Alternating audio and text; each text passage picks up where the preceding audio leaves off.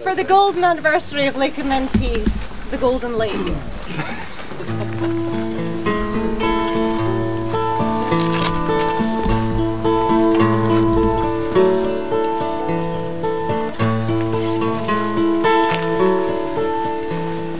Canvas Kenneth's Abbey Royal, the Earl of Menteith met a loyal maid and took her hand to steal a kiss. He promised that he would be found at Inchma home of Kirk and Crown. By night he'd wait to keep a lover's tryst, and the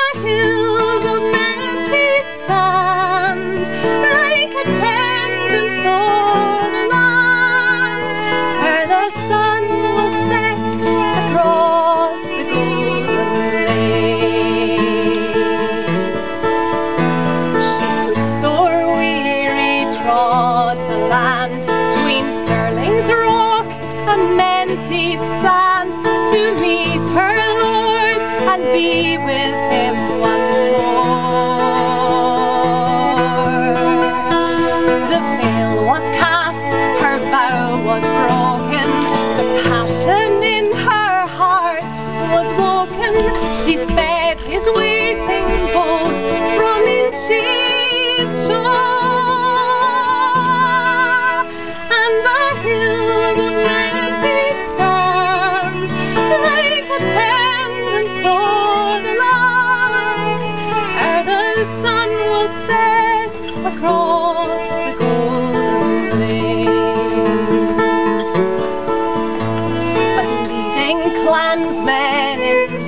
fight against and foe on Glenny's height, the nobleman was dealt a mortal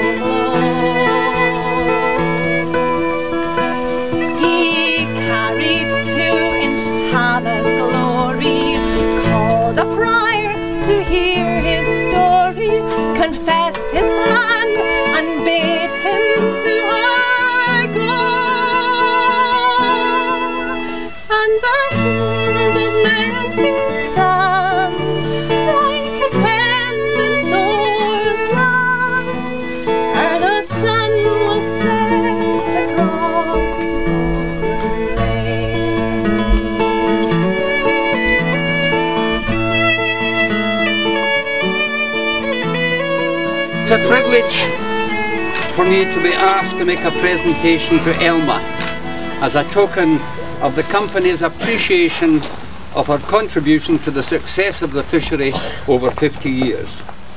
I think I'm safe in saying that Elma has booked every boat that has been booked by Elma. Quint keeps a careful note of every bo- boat, but some of us were not so careful, and so we had to make an informed guess as to how many boats might have been booked over the years. And we thought that it might have been a quarter of a million, which with two man boats means half a million anglers. And Elma knows them all. At the beginning, we only had 12 boats, and now at a push, Quint can put out 40. Nowadays, Elma does more than just booking boats, and her contribution to the running of the fishery is both important and much appreciated. Elma.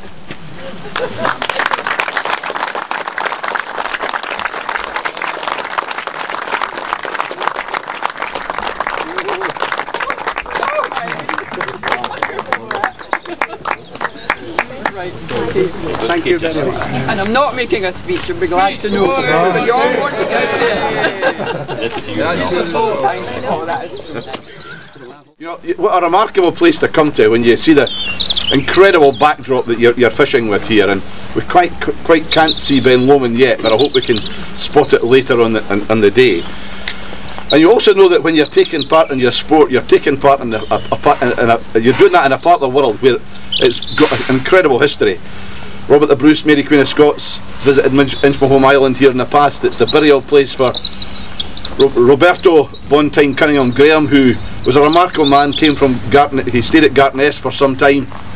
He founded the Labour Party in Scotland, he founded the Scottish National Party in Scotland. We could probably do with him now to bring these two warring tribes together a bit more. Uh, he was also a writer and an adventurer, and he's buried there on, on the island. And it's not, and he's probably not as well known as Robert the Bruce or Mary Queen of Scott, but he's nevertheless a remarkable character. And of course, in more recent years, this place has taken the grand matches, the bonspiels, as this place freezes over, uh, has been organised by the Royal Caledonian Curling Club. So there are lots of things that have gone on here in the past. Now, if you're a follower of a different sport, 1966 conjures up images of England win winning the World Cup. But I usually manage to keep people quiet when they're telling me that. When I mention to them actually the most important thing that happened in the world that year was opening the Lake Menteith fishery. And that usually brings about the stunned silence that I was hoping for because of that. And because of the, obviously, the riparian owners who took that decision in 1966 to set up this fishery and open it up to people have done Scottish fishing a remarkable bit of good. And if I understand rightly, Quint, the average catch here last year was two and a half pounds in terms of the fish that were caught, and that's uh, quite a quite a that's quite a, a feat to be able to, to be able to, to, able to say that. And that's and it's because of that reason that there's so many competitions now come here. Obviously, last year we had the home international championships for both the seniors and the youths here, and I'm glad to see the Scots won them both. I just hope we can do the same in rugby and football in future as well. And there are obviously competitions brought here by SANAC and and, and uh, SANA, uh, who are, and obviously SANAC are responsible for overseeing the National Angling Championships. This lake brings a lot of people to the area, it creates employment, and it's a very progressive fishery. I think it's one of the few fisheries I've got right as well, Quint, that, that, that, that enables disabled fishers to come along and fish here and that's one of the reasons that the disabled international championships are coming here in the in the coming year. So that shows the, the progressive nature. I know they're doing all they can, possibly can, to encourage as many young people in future to come here. But that wouldn't happen, folks, without the dedicated individuals who work here. People like Quint, like like Douglas Fraser. Have I got that name right? Yeah. And and and, and obviously Douglas Fraser standing here with his name on his jacket. I should have spotted and Elma. So I think we should give a, a, a round of applause to these three fantastic people.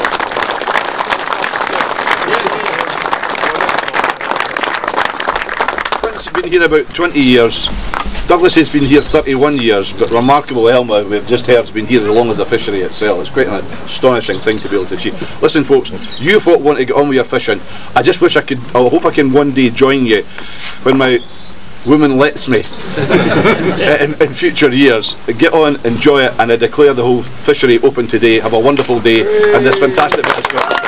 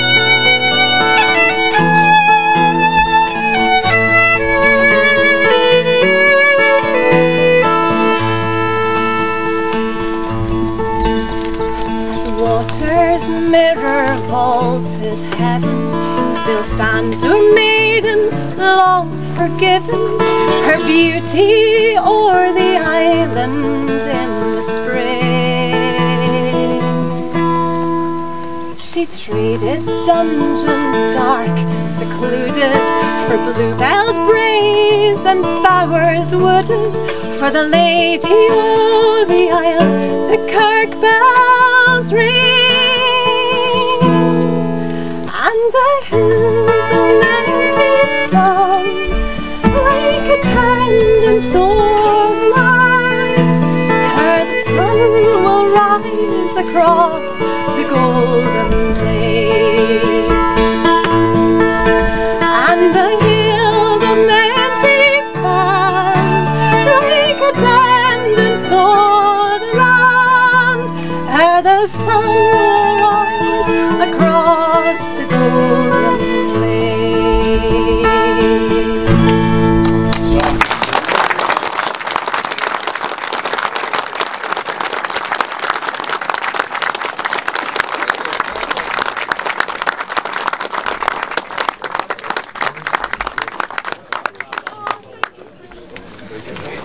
we'll hear a lot more